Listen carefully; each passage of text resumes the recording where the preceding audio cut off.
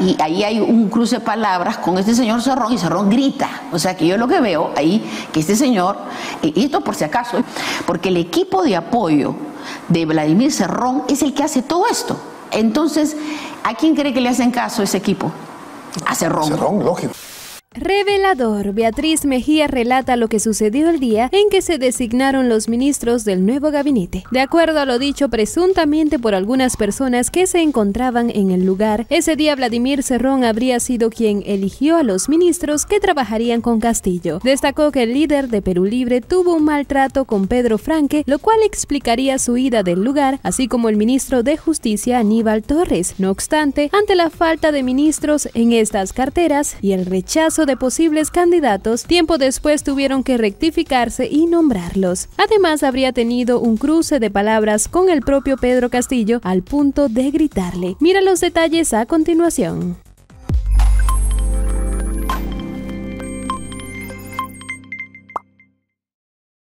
Sigue la crónica de lo que pasó ahí que los asesores buscaban como locos, porque al, ver todo esto, el señor Pedro Franque se retira porque dice que entra Cerrón, porque en un momento entra Cerrón y le dice, ¿qué hace este hombre acá?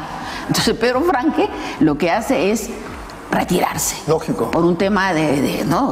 obvio, de respeto a sí mismo, se retira y Abelino Guillén, que era el, el, ministeriable de justicia, también dice yo también me retiro y se va. Mis respetos a los dos.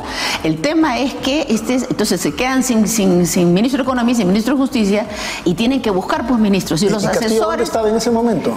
En ese momento no estaba Castillo. Empiezan los asesores a llamar por teléfono a, pedirle, a ofrecer los ministerios a la gente, ¿no? Y, el comentario. habían llamado a Shepot. Y la gente no quería. No, no, la gente no quería. No quería. Dicen que no, no pues, o sea, veían que lo estaban queriendo meter a último minuto, que había pasado una cosa fea, entonces, ¿quién se iba a meter en esto? bueno, finalmente dice que llaman a Castillo, Castillo aparece, el, presidente Castillo aparece y... Eh, llama un poco pues al orden, ¿no? Este, eh, el tema, y ahí hay un cruce de palabras con este señor Cerrón y Cerrón grita. O sea que yo lo que veo ahí, que este señor, y esto por si acaso, yo estoy repitiendo una crónica que, que es de gente que ha estado ahí. Yo no he estado ahí, pero hay gente que ha estado ahí que lo relata así, ¿no? Y que, y que ¿por qué razón? Mira, esto es un tema bien importante, porque el equipo de apoyo de Vladimir Cerrón es el que hace todo esto. Entonces, ¿a quién cree que le hacen caso ese equipo? A Cerrón. Cerrón, lógico. Se da cuenta. Entonces, cuando había que reemplazar a los dos ministros, quienes llamaban eran los asesores de Cerrón, o sea, el equipo de Cerrón. Y le dicen, entonces, y, Cerrón pega un grito y dice, por si acaso, no lleven a cualquiera, porque tienen que pasar por mi filtro.